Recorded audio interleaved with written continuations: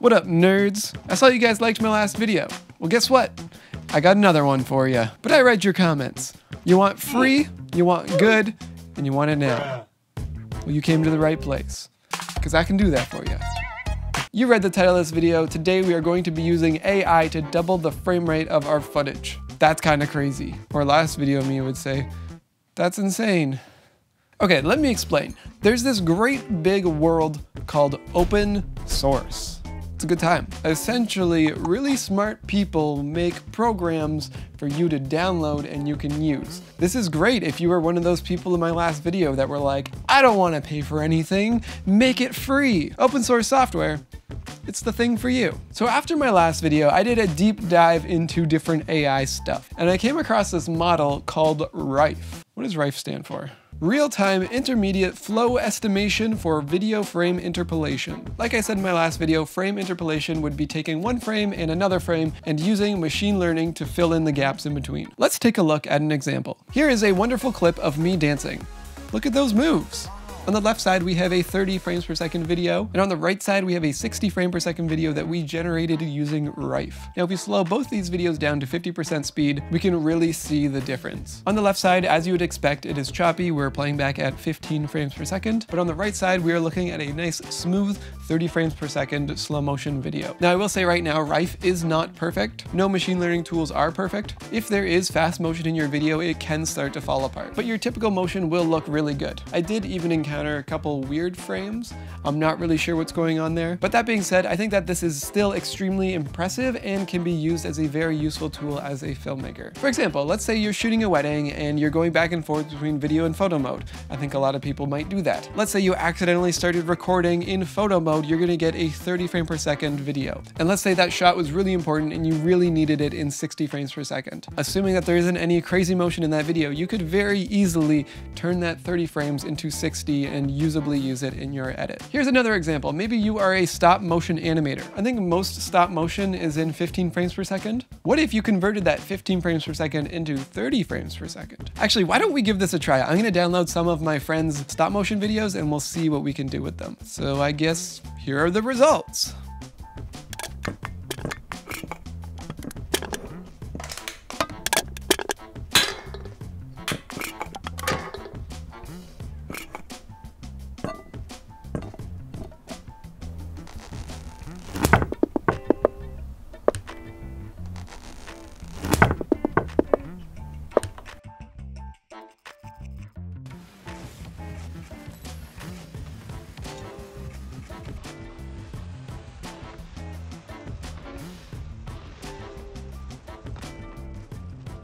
All right, you've seen some examples. Now it's time for me to show you how to actually do this. Some requirements, you're going to need a pretty decent GPU. I'm doing this on a 2070 Super. Actually, I'm using my GTX uh, 7020 20, 2070 Super. Uh, it has 8 gigabytes of VRAM. That's good. That's really the only like hardware requirement you're gonna need. Uh, if you don't have a 2070 Super, it's one either going to take a bit longer, probably, or you might only be able to do it in a lower resolution. Actually, that being said, it wasn't until today that you could do this with 1080p footage. Previously, it was only 720p, but I guess that being said, this is still a developing technology. Just expect it to get better, I guess. Thankfully, some lovely people or person decided to put this uh, AI machine learning model into a user interface interface so that way you don't have to use like a command prompt and then it's confusing and then only really smart people can use it. You and I, the dumb people, can also use it as well, thanks to uh, n00mkrad.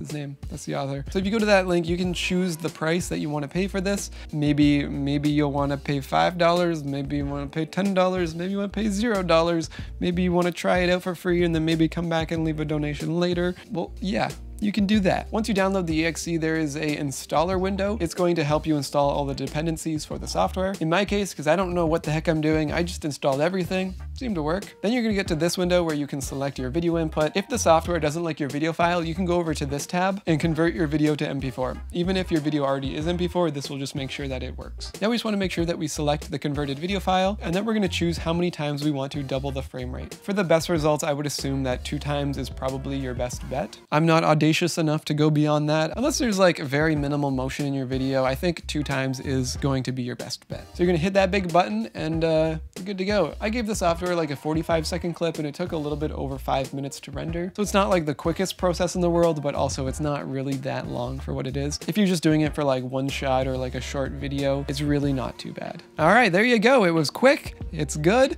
and it's free. You're welcome. You can thank me later. Cool. Thanks for watching. Um, great. Well, um, you know, I had a really good fun time tonight. I think uh, maybe we should do this again sometime. Um, I'm gonna I'm gonna go now. So uh, have yourself have yourself a wonderful day. Bye. Can